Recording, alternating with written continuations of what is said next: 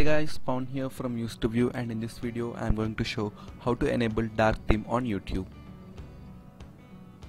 For that you need to change the URL. Change the URL as www.youtube.com slash new. You can find this kind of page on your screen. Click on try it now. By clicking on try it now, it will update your YouTube and you can feel a slight difference in look and feel of your YouTube. Now click on your YouTube account. You can find dark theme. It is off. Click on that and activate the dark theme.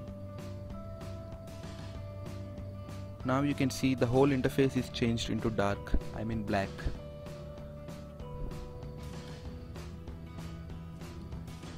This feature becomes handy when you are browsing at night time. Thank you for watching. Please hit on like and subscribe button for more videos.